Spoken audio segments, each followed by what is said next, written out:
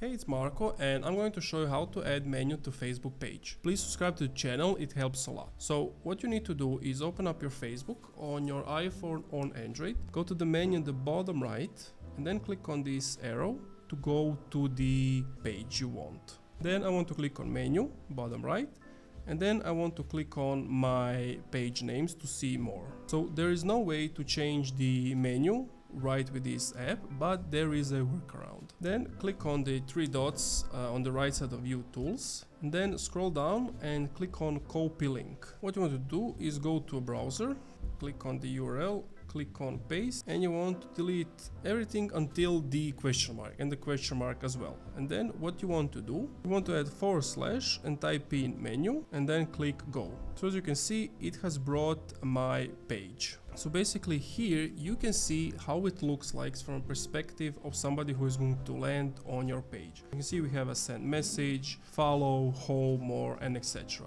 And that's it. Thank you for watching this video. If you enjoyed, leave a like, comment, subscribe.